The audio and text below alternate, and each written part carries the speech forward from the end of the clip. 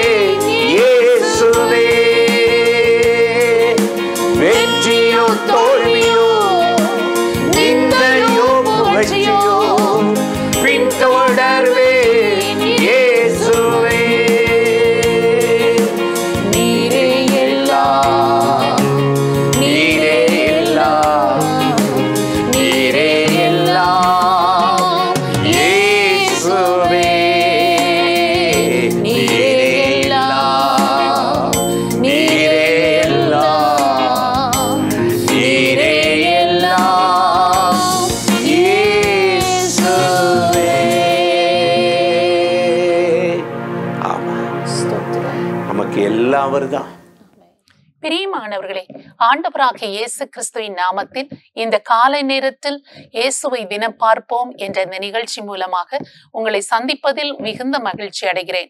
ஏசாயா நாற்பத்தி ஒன்பதாம் அதிகாரம் பத்தாம் வசனத்தில் நாம் வாசிக்கிறோம் அவர்கள் பசியாயிருப்பதும் இல்லை. தாகமாயிருப்பதும் இல்லை. உஷ்ணமாகிலும் வெயிலாகிலும் அவர்கள் மேல் படுவதில்லை. அவர்களுக்கு இறங்குகிறவர் அவர்களை நடத்தி அவர்களை நீரூற்றுகள் இடத்திற்கு கொண்டு போய் விடுவார். எத்தனை ஆசீர்வாதமான வார்த்தை இது பாருங்கள். அவர்கள் பசியாயிருப்பதில்லை தாகமாயிருப்பதில்லை உஷ்ணமாகிலும் வெயிலாகிலும் அவர்கள் மேல் படுவதில்லை.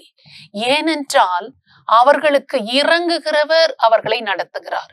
இன்றைக்கு நம்முடைய திறமையோ நம்முடைய வருமானமோ நம்மை நடத்தி கொண்டு போகவில்லை. நம்முடைய குடும்பத்தை நடத்தி கொண்டு போகவில்லை. நமக்கு இறங்குகிற ஒரு தேவன் இருக்கிறார். அதனால்தான் சங்கீதக்காரன் சொல்லுகிறான் விரும்புகிறவனாலும் அல்ல உழைக்கிறவனாலும் அல்ல இறங்குகிற தேவனாலே தான் எல்லாம் ஆகும் என்று சொல்லி சங்கீதக்காரன் சொல்லுகிறார் இறங்குகிற தேவன் நம்மை நடத்துகிறதினாலே ஆண்டவர் நம்மை எப்படி நடத்துவாராம்? நம்மை நீரூற்றுகள் அண்டைக்கு அவர் நடத்தி கொண்டு போய் விடுவார் என்று வசனத்தில் நாம் வாசிக்கிறோம். அது வரைக்கும் வறட்சி அது வரைக்கும் தாகம் அது வரைக்கும் வண்ணாந்தர வாழ்க்கை அது வரைக்கும் ஒன்றுமே இல்லாத வெறுமை நிறைந்த வாழ்க்கை. ஆனால் இப்பொழுது இறங்குகிறவர் நம்மை நடத்துகிற போது நீரூற்றுகள் அண்டைக்கு தேவனாகிய கர்த்தர் நம்மை கொண்டு போய் விடுகிறார். இஸ்ரவேல் ஜனங்கள் பாருங்கள் வழி நடந்து கொண்டு அவர்கள் வருகிற போது வானம் திறந்து மன்னாவை அவர்களுக்கு போஜனமாக ஆண்டவர் கொடுத்தார். ஏழாம் நாளுக்கு ஆறாம் நாளிலே எல்லாரும் சேகரித்துக் கொள்ள வேண்டும் என்ற ஒரு கட்டளை கொடுத்திருந்தார். கண்மலையை பிளந்து அவர்கள் தாகத்துக்கு தண்ணீரை கொடுத்தார்.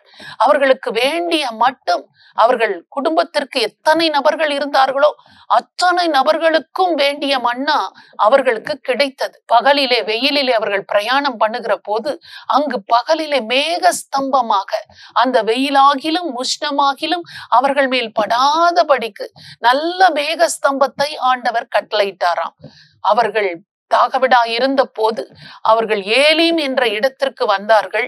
அப்பொழுது அங்கு பனிரண்டு நீரூற்றுகளும் எழுபது பேரீச்ச மரங்களும் இருந்தது என்று சொல்லி நாம் வாசிக்கிறோம். அங்க நீரூற்றண்டையில் ஆண்டவர் தம்முடைய ஜனங்களை அவர் இரக்கத்தோடு நடத்தி கொண்டு வந்தார் என்று சொல்லி வேதம் நமக்கு சொல்லுகிறது. அதே ஆண்டவர் தான் இன்றைக்கு நம்முடைய வாழ்க்கையையும் நடத்தி கொண்டிருக்கிறார். இனிமேலும் நடத்த போகிறார். நாம் பசியா இருப்பதில்லை தாகமா இருப்பதில்லை வெயிலாகிலும் உஷ்ணமாகிலும் நம்மேல் படுவதில்லை. இன்னைக்கு பாருங்கள் இந்த மாதத்தில் மே மாதத்தில் இவ்வளவு கடுமையான வெயில் காலத்தில் இவ்வளவு அருமையான சூழ்நிலைகளை ஆண்டவராக்கி கர்த்தன் நமக்கு ஏற்படுத்தி கொடுத்தாரே. அதே போலதான் நம்முடைய வாழ்க்கையின் பிரச்சனைகள் நம்மை உஷ்ணத்தை போல வெயிலை போல தகைத்து கொண்டிருக்கும் போது இந்த உஷ்ணத்தையும் இந்த வெயிலையும் இந்த பாதிப்பையும் ஆண்டவர் மாற்றி நமக்கு எப்படி ஒரு குளிர்ந்த சூழ்நிலையை கொடுத்தாரோ அதே போல நம்முடைய வாழ்க்கையில் இருக்கிற பிரச்சனைகளை நீக்கி பிரச்சனைகள் இல்லாத ஒரு குளிர்ந்த நிலைமைக்கு ஆண்டவர் நம்மை கொண்டு போவார். ஏனென்றால் அவர்தான் நம்மை நடத்துகிறார் அவர் நமக்கு இறங்குகிறார் நம்மை நீரூற்றுகள் அண்டைக்கு அவர் வழி நடத்தி கொண்டு போவார்.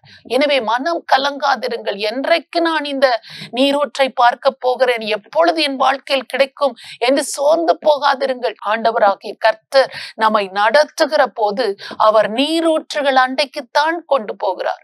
ஒருவேளை போகிற பாதை நமக்கு கற்களும் முட்களுமாக இருக்கலாம் வனாந்தர வழியாக தெரியலாம்.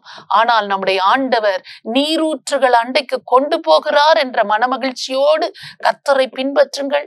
ஒரு நாளும் அவர் நம்மை கைவிடவே மாட்டார். நமக்குரிய நமக்குரிய நீரூற்றை அவர் நமக்கு காண்பிப்பார். நமக்குரிய மன மகிழ்ச்சியை கட்டாயம் அவர் நமக்கு தந்தருள்வார். அந்த ஆண்டவரை நோக்கி நாம் இப்பொழுது ஜெபிக்கலாமா? வருஷத்தமிழ்ல நல்ல தகப்பனை இயேசு கிறிஸ்துவின் நாமத்தினால நாங்க ஜெபிக்கிறோம்.